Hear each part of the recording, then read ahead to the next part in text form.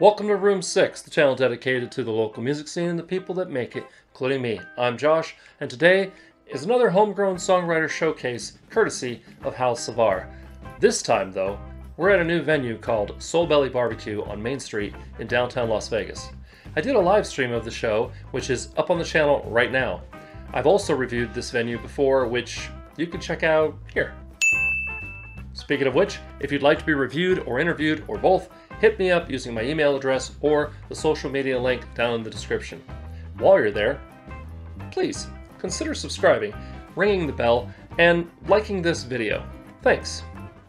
With the exception of the last act, everyone performing were or are about to be Room 6 alumni, even the sound guy David, who sings for Madzilla. It was great to know and be known by practically everyone in the room, like a Room 6 reunion. I even got a shout out by Hal on stage. I feel so seen.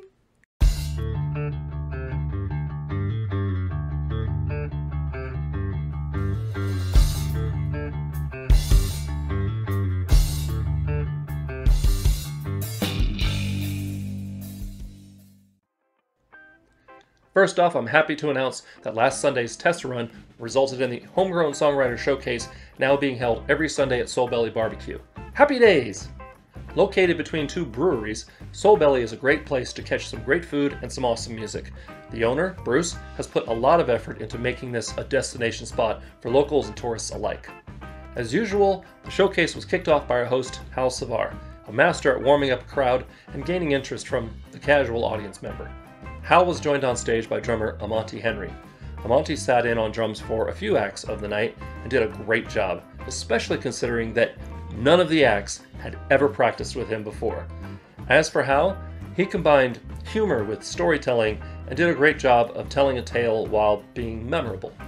Following Hal was perennial friend of the channel, Scotty Dub. I just recently interviewed Scotty for the second time, so make sure you check it out after watching this video. Aside from his own style of chill party vibe music, Scotty can be heard on numerous collaborations with local artists spanning the genre spectrum. He's very talented and versatile, and I'm proud to call him a member of the Room 6 alumni. Up next was Nidia Martinez, mixing lyrical vocals with electric guitar chords in a way that was both beautiful to listen to and upbeat. Her songs are full of empowerment and lessons learned from life and love, which resonated with the crowd and earned some appreciative cheers. After Nidia was Robert Stokes, who also fronts the Robert Stokes Band and Default Valentine, which I just saw at this very venue. Keep an eye out for that show review and my review of Soul Belly Barbecue soon. Robert Stokes' solo is a little different musically than Robert Stokes in front of a band. Whereas the frontman Robert gives us rock and roll fused with ska and rock steady, solo Robert brings more island vibes that closer represent where ska came from. Trademark quirky humor and fun to watch stage presence makes Robert an awesome act to watch, regardless of how many people are on stage with him. Jumping back on stage to fill some setup time needed by the upcoming act, Hal Savar played another song from his massive repertoire. Regaling the crowd with a story about drunken songwriting, he gave ample time for the next act to set up. That next act was none other than Aubrey Digital, rocking the keys and laptop. Aubrey's new EP, Hello World, is out now, so make sure you use the social media link down in the description to get your own copy from her.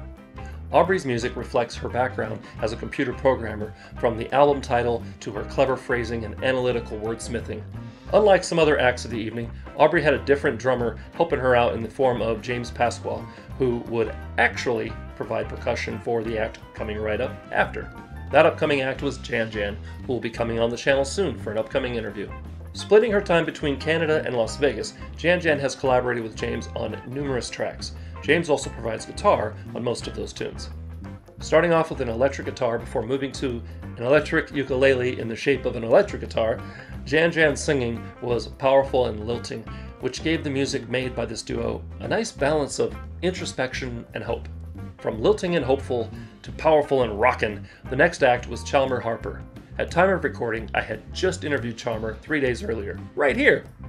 Joined on stage by Amonte on drums and Chalmer's friend Chris Massa on lead guitar, the energy level skyrocketed as the trio powered through Chalmer's set. Having heard some of these tunes just three days earlier from a solo Chalmer, this version rocked. Keep an eye out for his upcoming studio album. Coming up next was Sage Waters, one of multiple talented songwriters of the night that borrowed Robert Stokes' sticker festooned guitar. With beautiful vocal runs and rapid fire lyrics full of empowerment and passion, Sage was a crowd favorite, even when occasionally cracking herself up and flubbing a line or two. The audience was so supportive of everyone, and not just the performers waiting their turn to play. Soul Belly Barbecue seems to engender an atmosphere of friendliness and congeniality missing from a lot of Vegas establishments. Following Sage was the one act performing to a track, Cameron Paul. Always a hit with his passionate baby making music, Cameron knows how to work the microphone and the crowd well. I've said it before and I'll say it again.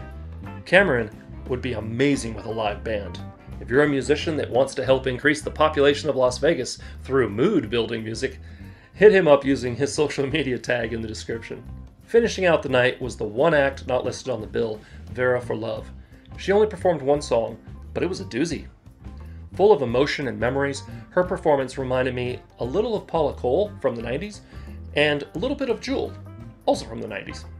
She's definitely one to watch, and she's definitely coming on the channel soon. Overall, the first homegrown songwriter showcase at Soul Belly Barbecue was a success, and I'm glad Hal asked me to live stream it and do a review. I'm looking forward to this Sunday's showcase very much. Thanks for watching. I hope you enjoyed. I hope you'll swing by Soul Belly Barbecue if you're in the neighborhood, and you'll check out all these acts uh, by using their social media links in the description. Also, I hope you'll consider being a, subscriber. It really does make a difference. Even if you just ring the bell and click none. Honestly, I'd still appreciate it.